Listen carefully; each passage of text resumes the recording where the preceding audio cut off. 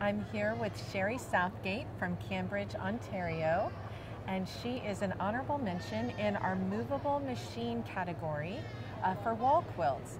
Congratulate, hello and congratulations. Thank you. Thank you very much. Yes. So her piece here, uh, Blessed Baltimore, uh, is is the honorable mention. Uh, in this category. Sherry, tell us a little bit about your quilts and how the creative process got started.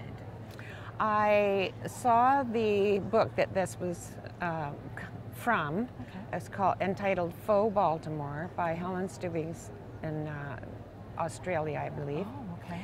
And it was originally meant to be painted. Mm.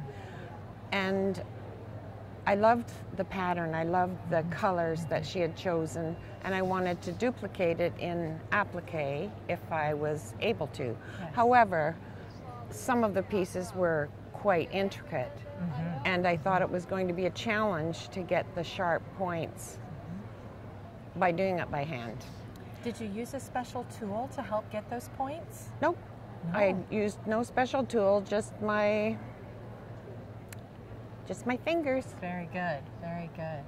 So you're a snowbird here. I am a snowbird, yes. Wonderful. And so you came to Florida and and did you have the fabrics with you or No, I did that-. I came with no fabrics because I had nothing in mind. I wasn't working on a project, and I didn't know if I was going to be. I had Mm-hmm. come out of a little bit of a dry spell, as we, you know, we As have period. yes.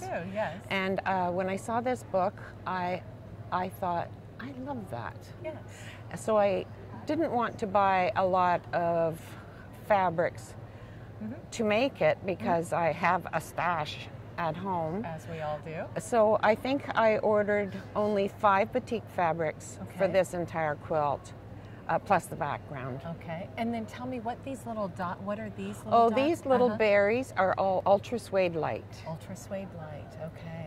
And they, with ultra suede light, you don't have a turn under.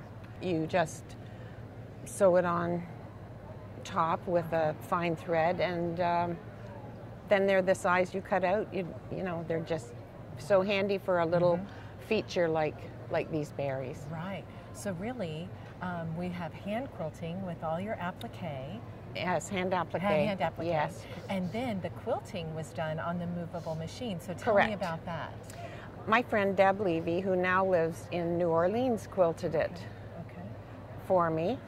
Deb and I were members of the same guild.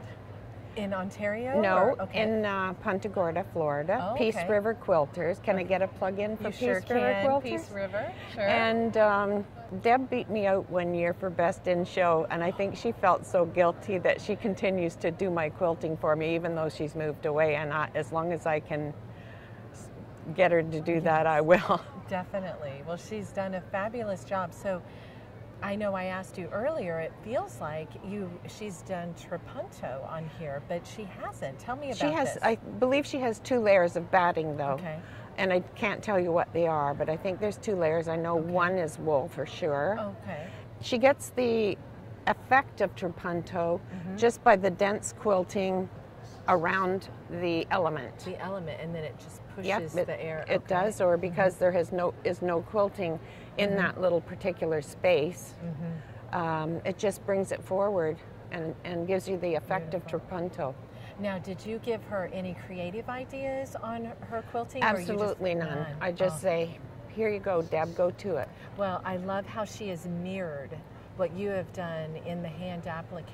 It's it's just beautiful and very reminiscent of a Baltimore sampler that we would see. Yes, So, thank you. Yes, it's it's absolutely a beautiful piece. And one more question. Now, you did tell me you've entered one other AQS contest. Yes, I had a quilt juried into the Paducah show in, I think, 2012. Wonderful. Congratulations. And Thank then you. this is your second quilt with Yes. us? Wow. Well, How we are am I going to top this? Right? How are you going to top this? Well, we'll wait for that inspiration to come. Who knows where To be be continued. That's right. That's right. Well, it was so nice to meet you. And Thank thank you. so much uh, for entering. And we look forward to seeing your wonderful inspirations uh, at the next Quilt Week. Thank you very much, Tamara.